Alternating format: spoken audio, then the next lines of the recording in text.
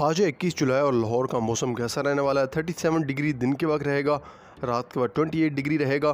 कहीं ना कहीं ओवरकास्ट होगा बादल होंगे। आ, आपको गर्मी तो महसूस होगी उसकी वजह यह है कि आपके पास ह्यूमिडिटी जो है हवा में नमी का इतना सो फोर्टी नाइन परसेंट है यानी उनचास परसेंट है तकरीबन। सो इसका मतलब क्या है? इसका मतलब ये है कि आपको हब्स फील होगी डिहाइड्रेशन होगी पसीना ज़्यादा आएगा और आपको जो एक्चुअल टेम्परेचर है वो तो कम है, पर जो फील होगा वो 45 डिग्री होगा, यानी 45 डिग्री आपको फील होगा गर्मी महसूस होगी। 9 किलोमीटर पर आवर की स्पीड से हवाएँ चलने वाली हैं, जो कि ना होने के बराबर है। यानी हब्स ज़्यादा होगी, पसीना ज़्यादा आएगा कहीं ना कहीं टेम्परेचर इतना ज़्यादा नहीं होगा, पर ह्यूमिडिटी ज़्यादा है, हवा में नमी का तनासब ज़्यादा है सो आपको गर्मी ज़्यादा लगेगी। देखिए ह्यूमिडिटी का एक जो थ्रेश होता है, वो ट्वेंटी फाइव परसेंटेज होती है।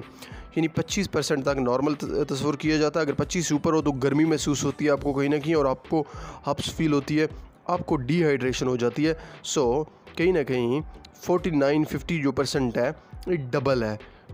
यानी आप 25 को डबल करें तो 50 बनता है। इसका मतलब ये है कि डबल आपके पास डिहाइड्रेशन आपको होने वाली है आपके पास हब्स ज़्यादा होने वाली है। आपकी जो बारिश आपके पास 1.9 मिलीमीटर यानी हल्की सी बारिश है कोई बड़ी बारिश नहीं है। सो कहीं ना कहीं आपके पास बहुत ज़्यादा गर्मी होने वाली है।